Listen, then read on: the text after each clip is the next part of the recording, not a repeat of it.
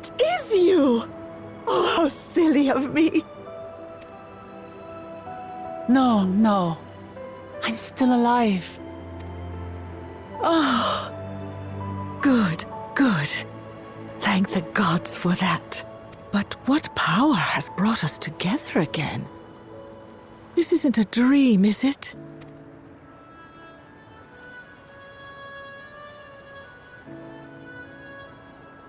It's not a dream.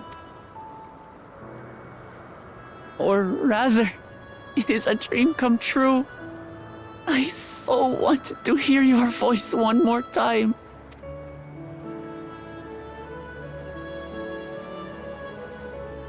Just look at you, my Wuk Lamat. Stronger and more assured than I've ever seen. Such hazards you must have braved and hardships endured to come so far. It was tough, but I made it thanks to my friends. And to you, Namikka.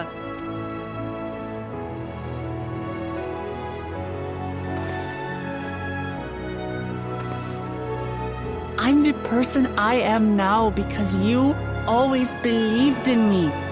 Because you loved me as if I were your own daughter. Thank you. Thank you. You're everything I could have asked for. The best mother. Ah, I'm so glad.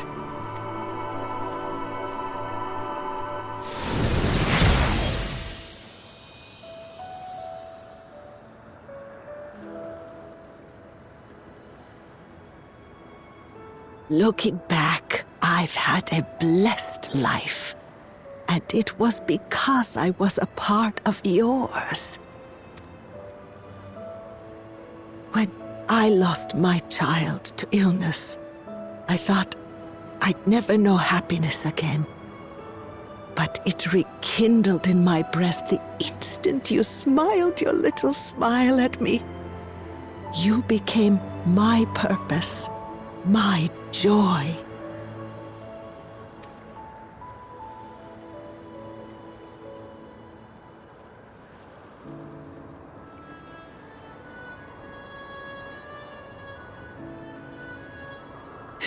You're mine too. To have this chance to speak with you again and leave nothing unsaid. I know not how or why, but I am grateful. So grateful. Where you must go, I cannot follow. But know that I'll always be with you. Take care of yourself. Promise me. I will. Mama. I will.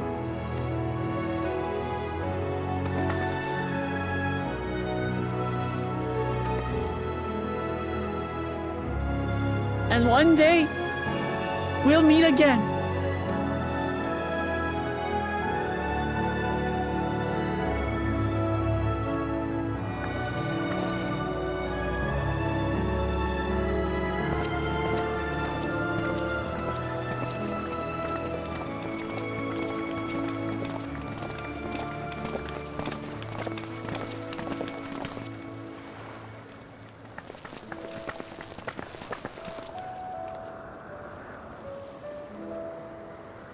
I understand why Sphene cannot bear to let them go.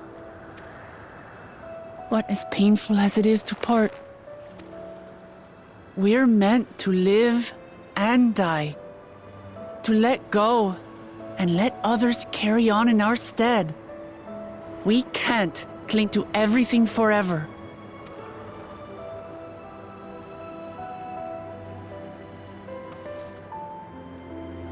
Come, let's keep moving.